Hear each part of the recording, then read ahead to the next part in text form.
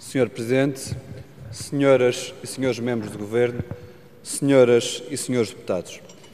Falar de António Almeida Santos é, em primeiro lugar, falar de um lutador pela liberdade, pela democracia. Quando aquela longa noite negava a pluralidade, as opiniões, a democracia, ele lutou para que fosse possível aquele raiar de luz que nos trouxe tudo isso que antes nos era negado. Sentiu na pele, já bastante envolvido na atividade política, viu ser negada a sua possibilidade de candidatura nas listas da oposição democrática à Assembleia Nacional, exatamente pelo regime fascista que oprimia o país.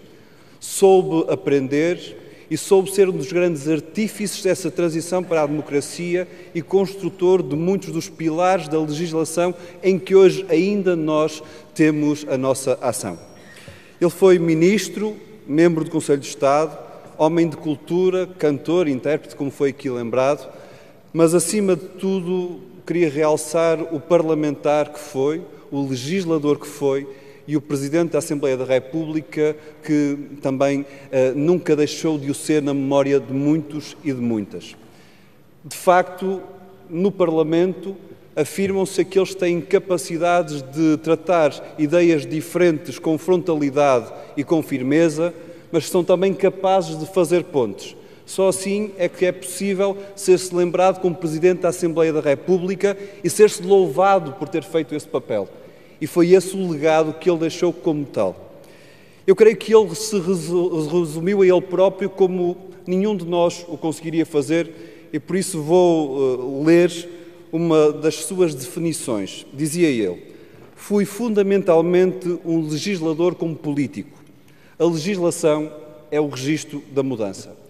E eu creio que tão poucos como ele deixaram a marca na mudança para o regime democrático com uma escrita tão forte. Ele esteve envolvido em muitos dos dossiês mais quentes daqueles eh, tempos e ele próprio também elegeu como os pontos fundamentais as alterações no Código Civil. Ora, aqui identifico eu que esse foi o Código Civil, por exemplo, que abriu portas para a emancipação das mulheres e para o início do fim das desigualdades de género. Este é o legado que ele nos deixa, como parlamentar, como político, como homem, e obviamente que o Bloco de Esquerda se associa a este voto e não pode deixar de prestar também homenagem à família, aos amigos e dar umas sentidas condolências ao seu partido, do qual ele era presidente honorário, Partido Socialista.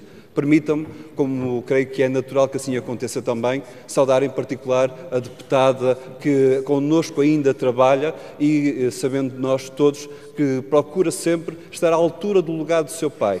É um legado uh, difícil de atingir, mas que mostra bem como a morte é apenas uma passagem e como tal registro da mudança de quem escreveu tão forte as linhas da história nunca será apagado. Obrigado.